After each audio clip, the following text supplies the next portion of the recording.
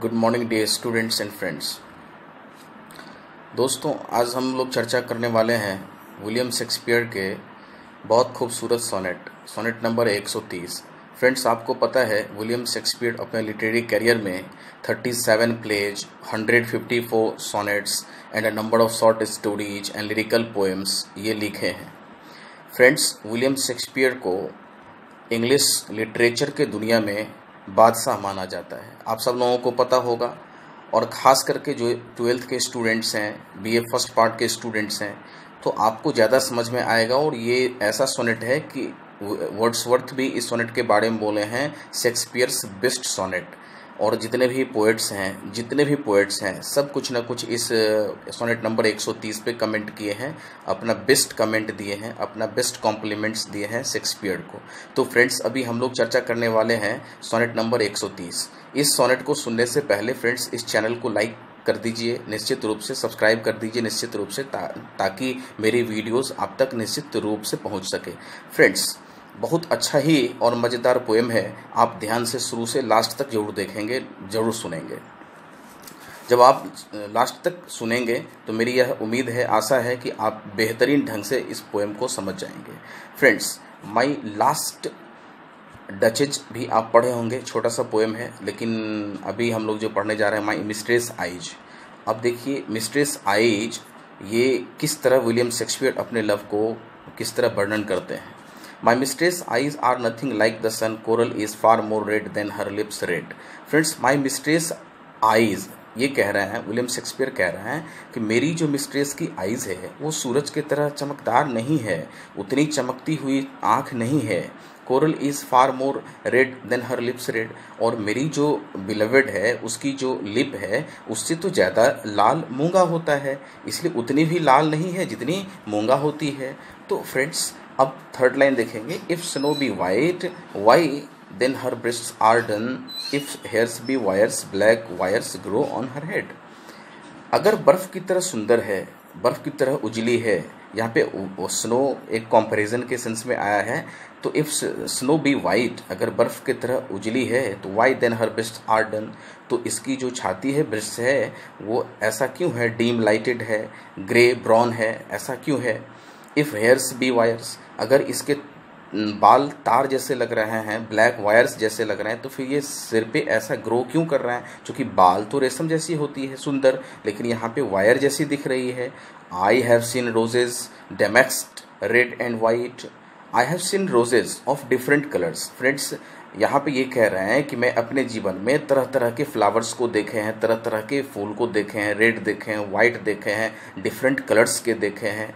लेकिन ये मेरी जो प्रेमिका है, इसके गाल पे तो ऐसी कोई फूल जैसी खुशबू, फूल जैसी कोई सुंदरता तो दिख नहीं रही है। But no such roses see I in her cheeks cheeks means गाल होता है फ्रेंड्स। आप तो समझ ही रहे हैं, इसके गाल स्पेस के चीन पे ऐसी कोई गुलाब जैसी फिगर नहीं दिखती है।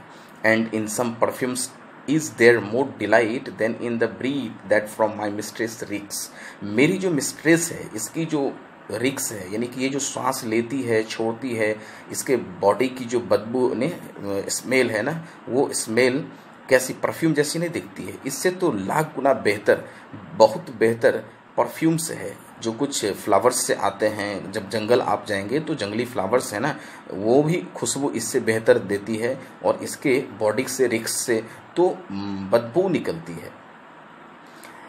I love to hear her speak yet well I know ये सब जानने के बावजूद भी हम इसको सुनना ज़्यादा पसंद करते हैं, बेहतर ढंग से पसंद करते हैं, क्योंकि मैं प्यार करता हूँ, इसीलिए सुनना पसंद करता हूँ। That music have a far more pleasing sound लेकिन सुनते तो हैं, प्यार करते हैं तो इसकी आवाज़ सुनते हैं, सुनना पसंद करते हैं, प्यार करते हैं।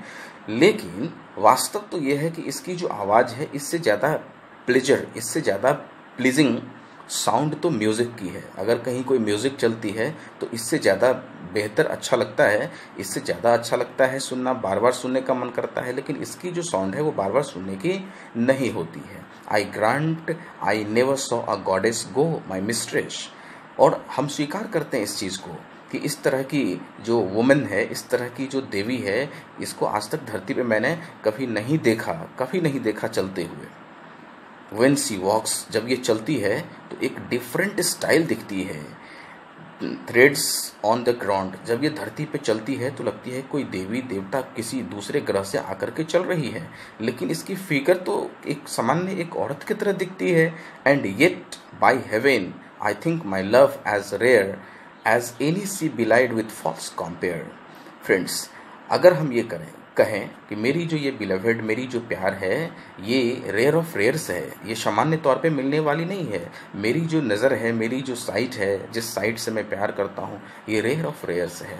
अनकॉमन है। कॉमन नहीं है फ्रेंड्स अगर हम किसी औरत से इसकी तुलना करते हैं, किसी खूबसूरत औरत से तुलना करते हैं तो ये कंप्लीट फॉल्स होगी। बिलाइड विथ फॉल्स कॉम्पेयर तो ये तुलना जो है ना, ये फॉल्स हो जाएगी अनट्रुथ हो जाएगी। ट्रुथ नहीं होगी। तो फ्रेंड्स माई मिस्ट्रेस आइज़ अभी आप देखें 130 फोर फ्रेंड्स इस पोएम में फोर थ्री क्वार्टरेंस हैं। एक क्वार्टरेंस में चार लाइन होते हैं और लास्ट में दो हीरोइक कपलेट्स हैं। तो हीरोइक कपलेट्स पे जाने के बाद पता चलता है कि विलियम शेक्सपियर के अंदर कितनी प्यार अफेक्शन है लस्ट है।